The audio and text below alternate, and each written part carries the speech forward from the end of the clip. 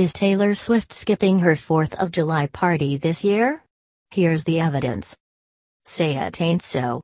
Taylor Swift may be skipping out on her highly anticipated annual 4th of July party at her Rhode Island home this year. Check out the gathered evidence that led to the sad conclusion here. It looks like Taylor Swift, 27, unfortunately may not be celebrating with her squad in red, white, and blue attire for this year's 4th of July. The singer's home in Watch Hill, Rhode Island, where she's held her extravagant parties for America in the past few years, looked like somewhat of a ghost home on this year's Independence Day, according to the Daily Mail.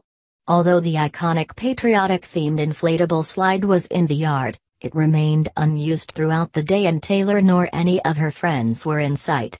It seems the only evidence of anything Taylor related was when her parents, Andrea and Scott Swift, were seen at and around her Watch Hill home with their own industry friends. See the best moments from Taylor's previous 4th of July parties here.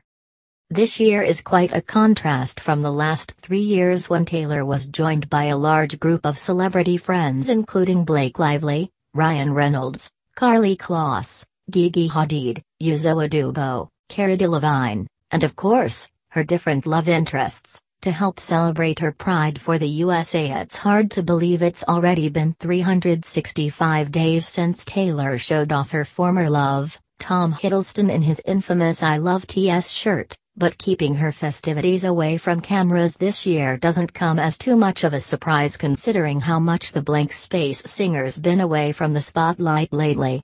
It would also make sense for her to stay on the down low when she's been wanting to keep her current romance with British actor Joe Alwyn, 26, as private as possible. Still, we have to admit that we're a bit disappointed in not seeing the superstar and her glamorous fun filled party this time around. Another reason Tamerica may not be happening is none other than Fashion Week in Paris. Many of Taylor's model friends have been hitting the runways throughout the week so they probably weren't available to catch some exciting times with their blonde bestie. No matter where Taylor's spending her fourth, we hope she's having a blast. Perhaps by some little form of a miracle, we'll get to hear some news or see some legendary pics soon and then the real fireworks can begin.